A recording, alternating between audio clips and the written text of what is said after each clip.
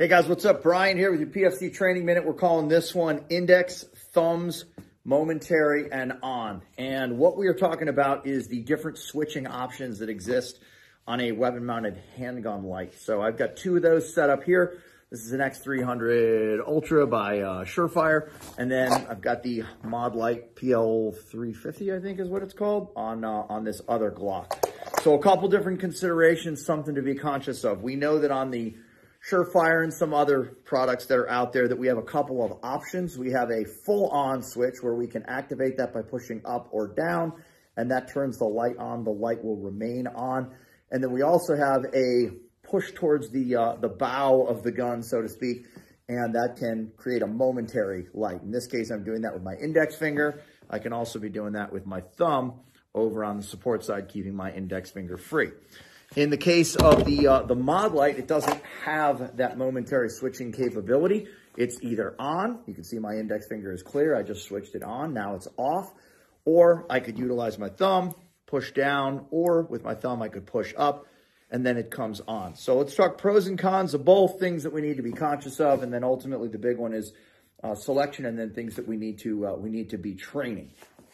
So there's some problems that exist especially as they pertain to the disparity between qualification courses of fire and then ultimately using the thing for a real world purpose.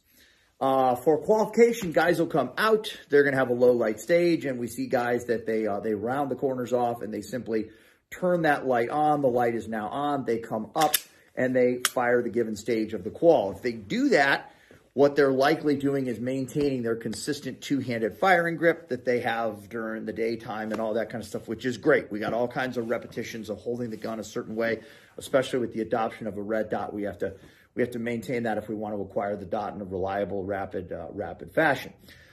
Then there's this other wrinkle that comes into play where guys will be, especially law enforcement officers, will be moving through a structure, house, whatever that is, and they're searching utilizing strobing techniques, intermittent flashes of light, and they're using that index finger to activate the light for searching purposes, moving doors, managing teammates, whatever that may be as they get around. In the event that they find somebody, how often is the skill trained to come up and go full on with the light? I can tell you that because of hand geometry, hand strength, finger strength, maybe I need to drink more milk on the Surefire, I can easily activate it in the momentary mode by pushing forward, but I have difficulty generating enough leverage to push that down with my index finger or push it up there. I'm just getting it by pushing up with my index finger to come on in the full on mode. With my thumb inversely over on the other side, obviously I can get that momentary. That's nothing like my two-handed daytime grip. I can easily press it down and get it to come on and come back and reacquire my daytime grips. With the Modlite, more difficult for me to strobe with it. In fact, there isn't a strobing function, whether it be manual or otherwise, that momentary, but incredibly ergonomic and easy for me to activate that with just my index finger. If I were clearing an area, searching an area, I can turn that thing on. I can turn it off very easily, activate it with my index finger. And if I found something, I can come up, activate that light, get in, get on the trigger, get to work, and then turn it off. As far as my thumb goes, my support side thumb, that's very easy for me to acquire that, press it down, move back up, and acquire my good daytime grip. So back to what we talked about originally here. Indexes versus thumbs. What is the finger that should be doing the switching task? And it's kind of, it's kind of both.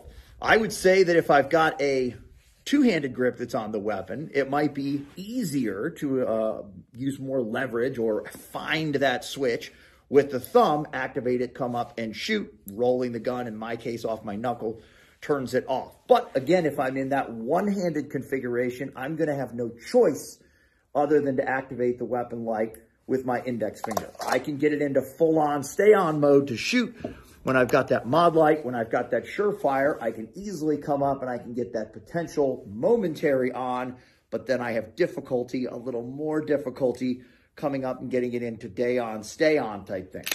So that's a factor. With the Surefire, not a problem for me to come in with my support side thumb, press down, come up. Now I'm in full on activation, and then we go from there.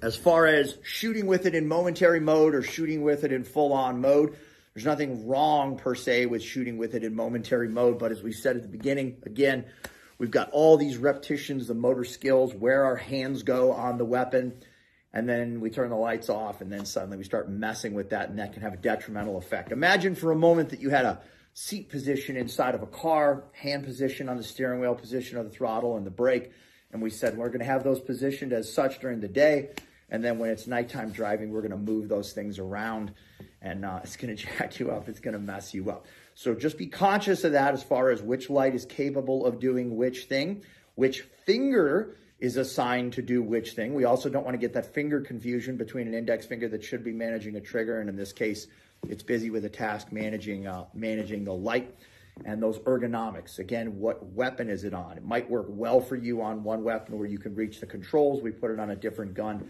and then you struggle with it and you have problems. One thing that is pretty cool about these Modlites, these weapon lights here, is that uh, when you buy one, it comes standard, uh, I believe it's standard, but it comes with a package of three or four different switch paddles and options. So different strokes for different folks, and you can hopefully find one that matches your finger, your manicure, holster, all that kind of good stuff.